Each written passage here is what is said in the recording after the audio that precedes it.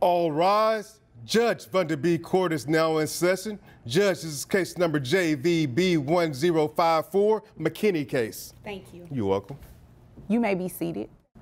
Um, I see you were brought to court today. Um, I don't necessarily know where, who is this? The My ex-husband. Okay, so he brought you to court today, had you served. Correct. correct. Have you talked to him? Uh, I have not. Interesting. Okay. Well, do you know, you have any idea why he brought you here?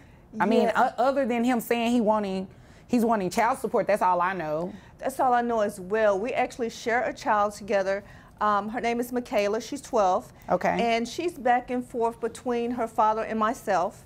Um, and he's just decided to bring me to court. Uh, currently, I do everything for Micaela. We just came back from a trip to Mexico. Okay. Um, I furnish Micaela's uh, education, take her shopping, uh, basically just doing what a mother's supposed to do at this point. Right.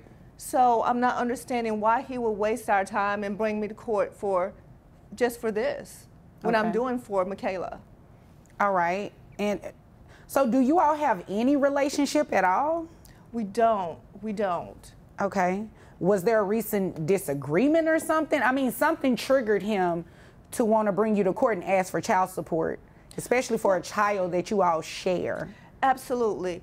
And there was a situation where I had a friend, and um, he just did not like the fact that I had a friend and Micaela was around my friend. Okay. So, so it's a guy friend. It is. It is Okay. a guy friend, and he's just uh, very vindictive at this point, and this really shows it. He didn't even show up.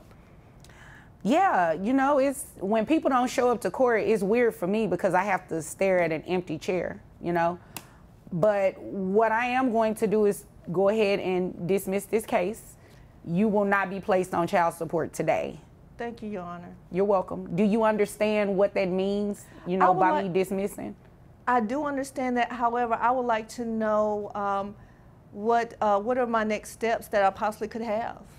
Well, at this point, none. You know, you're not being placed on child support. His case is being dismissed. If in the future, now he can refile and try to bring you back to court, and he can get you reserved, and hopefully he shows up. But other than that, nothing else is going to happen with your case. He has to go through the entire process again. Okay, thank you, Your Honor. You're welcome. Do you have any other questions? No questions at this time, Your Honor. Okay. Well, if there's nothing further, you're dismissed. Thank you so much. You're welcome.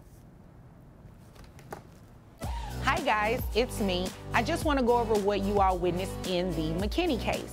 Well, mom was brought to court by her ex-husband who did not show up for court.